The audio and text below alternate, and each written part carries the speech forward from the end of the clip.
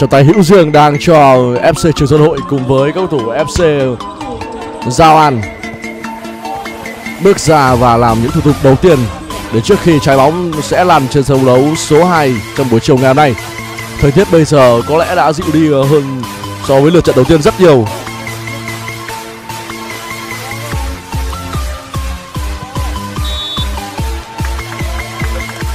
Chúng ta sẽ mong chờ vào trận đấu ở lượt thi đấu thứ hai này sẽ là một cuộc thư hùng kịch tính, căng thẳng và đem đến rất nhiều những pha bóng hấp dẫn. cái lúc này thì trọng tài Văn Dương đã thổi còi và chính thức đưa hiệp một của trận đấu giữa cầu thủ FC Trường Sơn Đội và cầu thủ FC ở thời điểm này. Bởi vì lối chơi của FC Trường Sơn Đội đó là một lối chơi thiên về những tình huống kiểm soát bóng. Vậy nên yếu tố bình tĩnh và yếu tố chậm rãi là yếu tố cần thiết. Cơ hội dành cho FC Giao An quan tâm.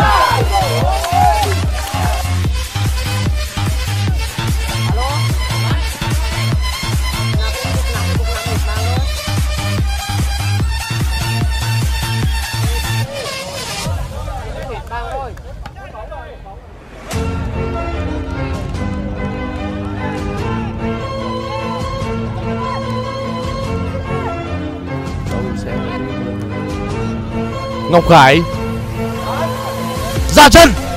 Tỷ số một không dành cho FC Trường Sơn Đôi thế cân bằng trong trận đấu này đã bị phá vỡ và người đã tạo nên một khoảnh khắc siêu sao trong tình huống bóng vừa rồi. Đó là số 11 Ngọc Khải.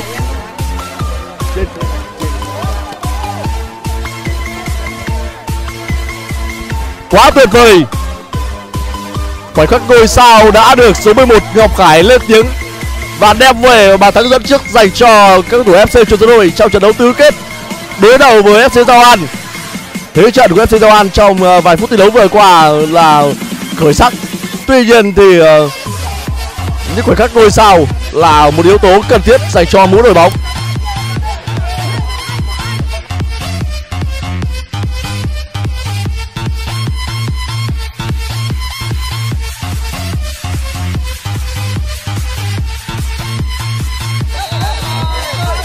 Rất hiểm rất nguy hiểm.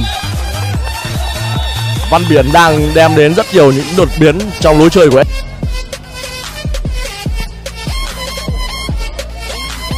Như vậy thì chúng ta quay trở lại hiệp hai trận đấu giữa cầu thủ FC Giao An và cầu thủ FC Trường Sơn Hội.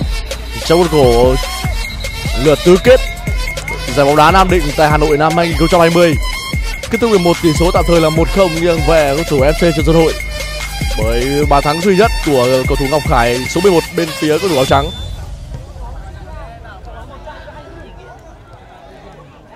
Long An. Đưa bóng vào. Lấy lại thế trận của riêng cá nhân mình. Những cầu thủ FC Giao An bây giờ phải chơi với một lối chơi áp đặt. Thôi! Tỷ số là hai không dành cho cầu thủ FC Trường Sơn Đôi và một lần nữa Ngọc Khải lại đem đến một sự ngọt ngào dành cho ban huấn luyện và lãnh đội bên phía các thủ FC Trường Sơn Đôi khi mà hàng tấn công của các thủ FC Giao An với những sự, sự thay đổi người của những nhân sự được tung vào sân ở hiệp thi đấu thứ hai chưa đem đến nhiều tầm ảnh hưởng và chưa đem đến nhiều những sự thành quả nhất định về lối chơi và khả năng tấn công của bên phía FC Giao An. Thì Ngọc Khải bất ngờ có một tình huống lách xuống vượt qua sự trí cản của Văn Trường và đặt trái bóng vào một vị trí mà chắc chắn là thủ môn bên phía của thủ FC Giao An không thể kiểm soát nổi. 2-0 dành cho FC Trường Sơn Hội vào phút thứ 34 của trận đấu này.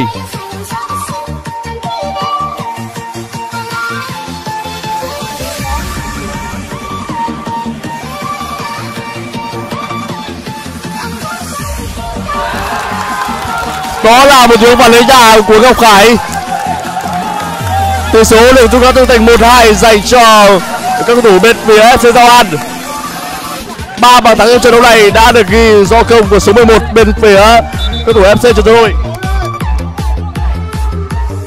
cơ hội lại được le lói và tắp lên dành cho bên phía của FC Giao An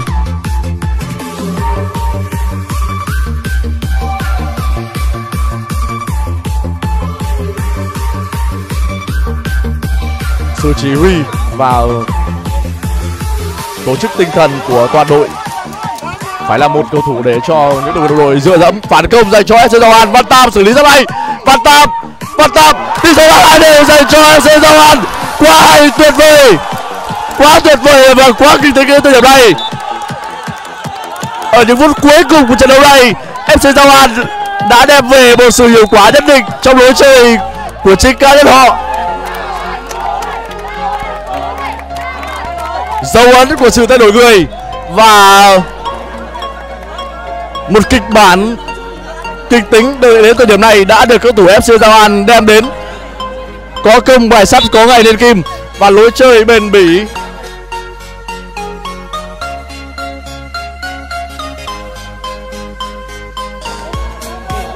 Bốn phút thi đấu cuối cùng. Có lẽ bây giờ những không chỉ cơ không vào! Cơ hội vừa rồi. Sông đất. Đoạt penalty đầu tiên dành cho trường đội số 21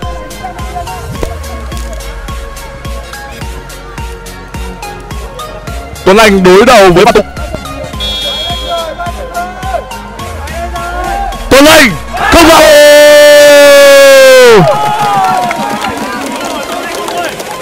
Ba sư khởi đầu lan FC Tàu An. Đội trưởng Bát Tam là người đá của penalty đầu tiên dành cho MC Giao An cũng không vào.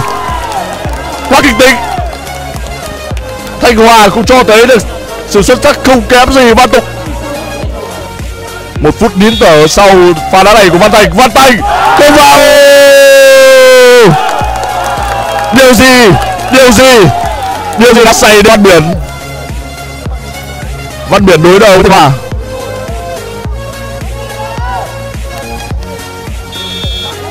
Văn Biển chính xác một. Thủ môn Văn Tục được đạt. Chính xác. Một đều sau loạt penalty thứ ba. Với Thanh Hòa. Văn Hoàng hay Thanh Hòa đây. Chính xác. Chiến thắng đã thuộc về các thủ FC Giao An.